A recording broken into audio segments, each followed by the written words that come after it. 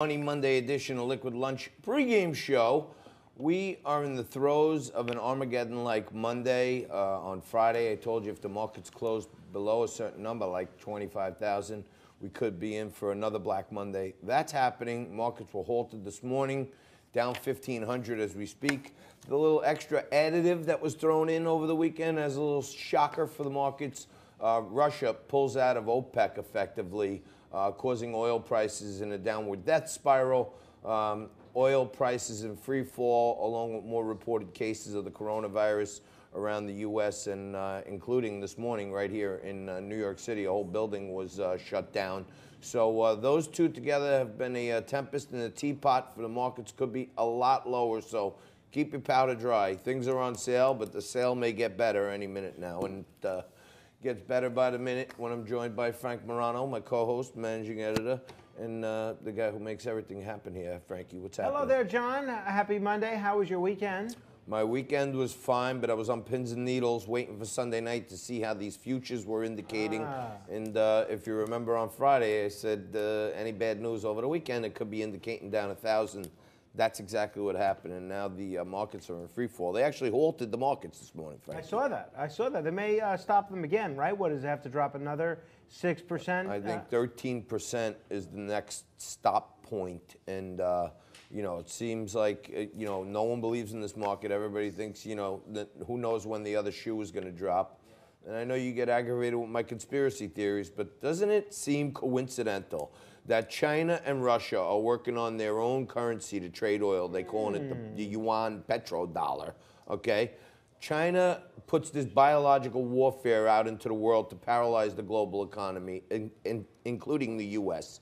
And then right in the middle of it, while the markets are under massive pressure, uh, Russia, their best buddy in the world, just happens to pull out of OPEC. So it's like a it's like a double whammy for the U.S. economy right now. And I'm starting to think more and more that China and Russia in on this thing together. Well, I mean, it certainly is not a very good thing for the Chinese economy either, though. Well, here's the thing, and uh, you know, I was talking to somebody very smart about this this weekend.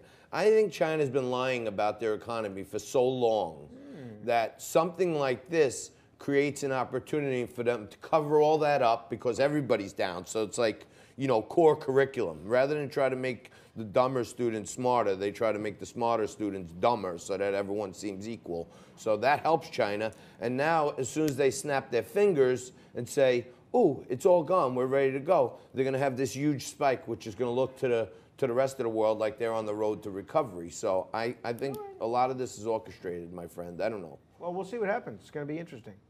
What were you covering on your morning show this morning? The big news of the day had to be the markets, but uh, what well, else is happening know, obviously on that, AM 970? Well, you know, the markets didn't open until around 9:30, so uh, we're almost over by then. But uh, everybody's talking about Super Tuesday 2. All these states that are going to be voting tomorrow, uh, Michigan being the biggest prize.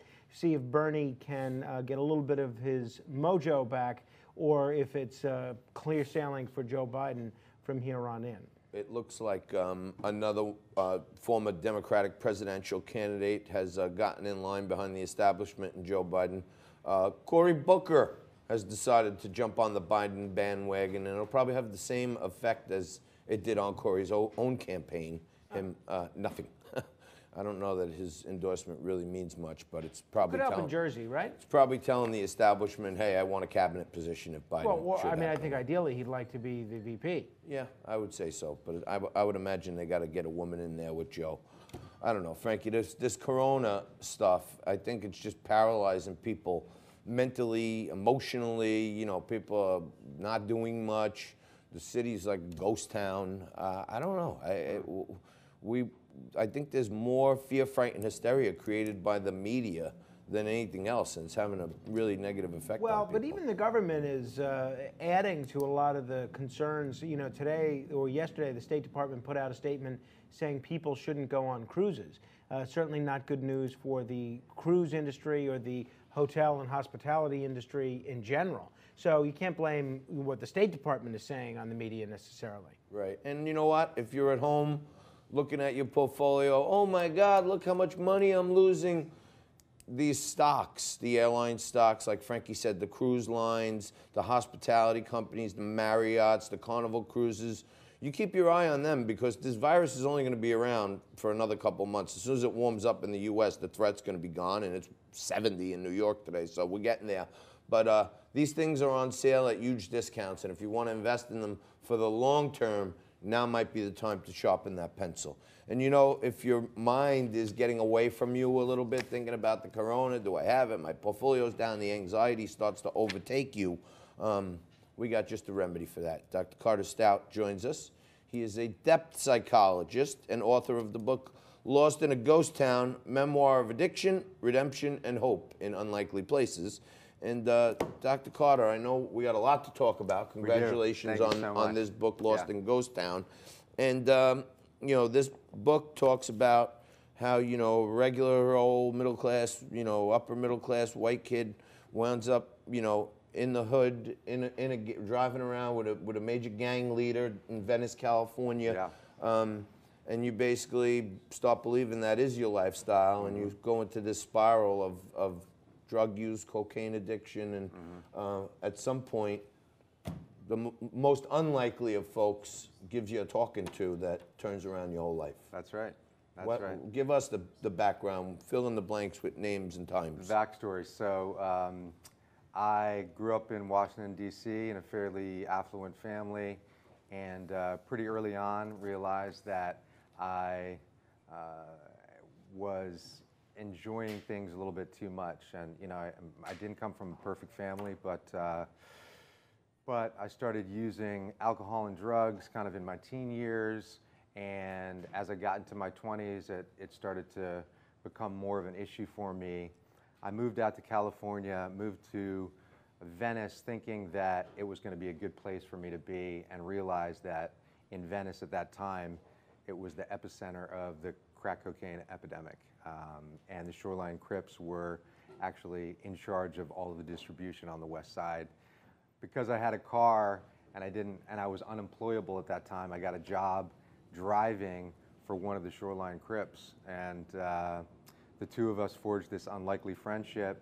He took me into his home. He introduced me to his grandmother, and in a lot of ways, his family provided for me what my own family hadn't, which was friendship and love and acceptance. And it was because of that that I really started to take stock in my life and, and get straight again. So I think we have a, uh, a little clip Yeah. that talks about this and gives some more detail on it. Let's take a look at uh, a little clip trailer from uh, Lost in Ghost Town.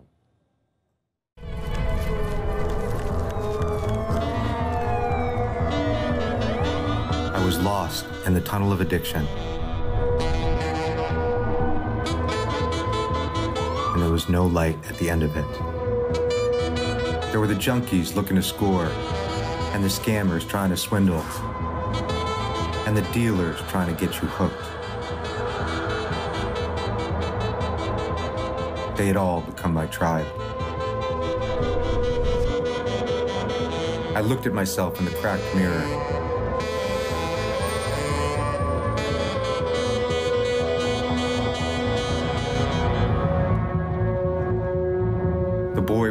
With smile was gone. And I missed him.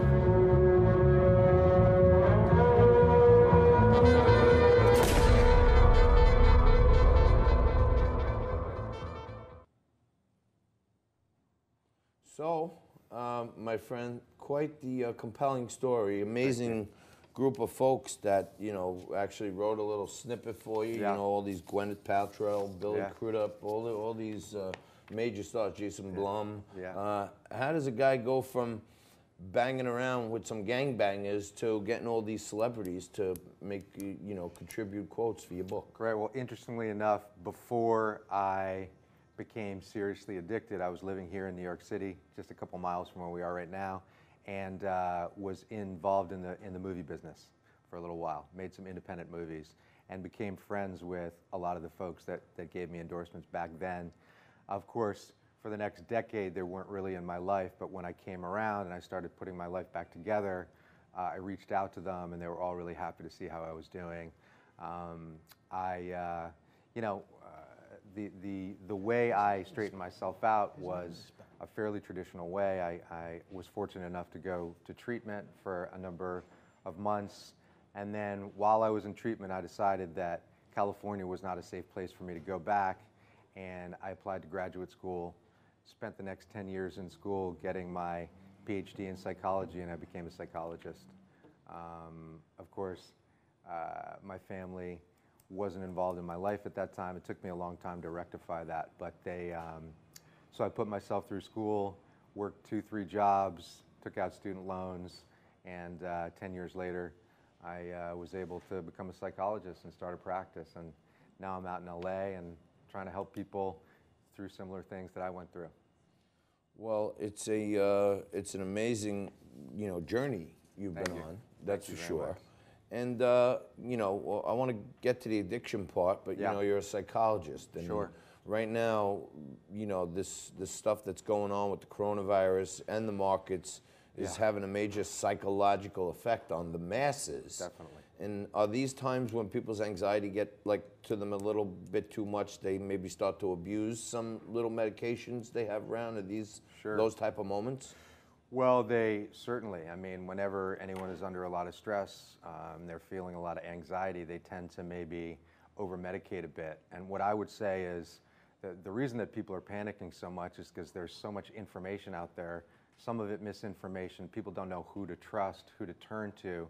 And what I would say is uh, speak to your doctor, the person that you trust, the person that you've been with for your life, your family doctor. What makes you think any of us trust our doctor? Well, that's the, well, well, hopefully you do. Maybe you don't. nah, my doctor's the best. He's Right. buddy, so if but- you have a relationship with somebody, a close relationship, uh, turn to them, uh, ask them what's going on. Another way to really uh, alleviate some of that stress is I, I say go directly to the CDC, you know, the Center for Disease, Disease Control. CDC, Uh, yes. go right to them. Well, no, don't don't go right to them. Go to their website. Ah. Uh, read about what's going on um, because they're not polit- I, I- don't believe they're a politicized organization. They're How do you how do, how does like you know a white kid from DC find enough street cred to work your way into being in the most intimate of relationships with a, a gang leader? It's interesting, you know, this guy that I developed a friendship with was not like a typical gangbanger. He, he grew up, he was self educated, he was well read, he was compassionate, kind, generous, and family oriented. He was brought up by his grandmother. And uh, in a lot of ways, we had similarities in our life, even though we came from completely different backgrounds. He was abandoned by his father. I was abandoned by my father. My mother was an alcoholic. His mother left him when he was a kid. So we had a lot in common, you know, about, uh, about our humanity. And uh, because of that, we became friends. And because he endorsed me and had my back, he introduced me to all of these people, and he kept me safe in that world. Wow, like Yeah. the celebrities too, who wrote in your book uh, that you met them through. No, no, no. The celebrities I met in my book uh, that, that have endorsed my book were people that I knew. I've sort of lived two lives. The first life was movie producer, independent film producer in the 90s in New York. And that's when I met a lot of these folks. And then um, when my addiction really started to hit, that was around 2000. And that's when I moved out to California and, and started to hang out with these, these folks from the Shoreline Crips. Yeah. Carder, or if I can call you Carder, or Yeah, Dr. course, Stout. yeah. I'm really looking forward to reading the memoir. It's gotten great reviews. Uh, everybody has been talking about that. And certainly, if you look at what's happening, not only with this Ben Affleck movie that's in theaters Yeah. that everyone's talking about, but what's happening in the country and the world at large, it's never been uh, a more relevant subject. I'm wondering if you can describe for folks um, what your experience was the first time you tried crack cocaine. I think a lot of people in our audience can uh, empathize with what it's like to get drunk. A lot of people understand what it's like to maybe even smoke marijuana. But I don't know that everybody in our audience has done crack. And I'm Right. wondering if you can share your experience and what a game changer that was like for you. Sure. You know, what's interesting about that first experience was that uh, it was introduced to me by a, you know, a, a white guy who grew up in Greenwich. And he, he said, you know, let's get some crack. And I said, what? No, no way, isn't that like a street drug? And he said, no, no, no, it- it's great. And we had done cocaine before together, just in, in, in powder form. And uh, I tried it, and it was like an immediate uh, rush that overtook my whole body and my whole senses. And it was different from uh, the cocaine that I'd done before with the intensity of it. And it was something that uh, almost immediately after I tried it, I wanted to do it again. So it really just uh, got So how long does it take to hit you? immediately. Immediate. Uh, when the when the You smoke take a, f- you take your a few lungs, puffs on the crack pipe, that's right. and then all of a sudden, all of a within sudden you're seconds. That's you're the- Superman. You're Superman. You want yeah, to that's the way run, jump, do cartwheels, backflips, jump over You cars. felt, I mean, you, you feel this euphoria, and it was it's like a dopamine release. exactly a, a lot of dopamine release, um, and it was uh, something that I'd never experienced before, and I wanted more of it. How long does it last? It lasts about 10 minutes. That's it. That's in it, and that's why people are constantly trying to chase that high. And you know, it's it's not that expensive, but you run out of money, and then people do things like Get that rock. Yeah, they, the rock. they they get involved in crime to do it. Yeah. What do you think about? Um, I keep doing more and more research on these on these friggin' video games that all these kids are playing, right? Mm-hmm. Yeah. And when I look into like the Fortnite and all this stuff, Yeah. um, it turns out that behind these companies like Epic Games and stuff who make these things, they got these world-renowned psychologists and psychiatrists that are on the board and they're part of it. And the way I'm reading it, these games have no end, mm-hmm. right? So it's it's like crack, right? There's no end as long as you can get money, right? Sure. And you want to achieve the next level, the next level, the next level. And they basically rigged them psychologically so that the kid, his skill level can just about get him to the next level. Mm-hmm. And then he gets that dopamine release. Yay. But then he's got to put in mom's car, credit card to get more lives to go for the next level. And mm-hmm. are these games almost, you know, mind training these kids to seek that dopamine release like a, at, like addicts Well, do? there, there's certainly a component of that. Absolutely. I mean, they want to.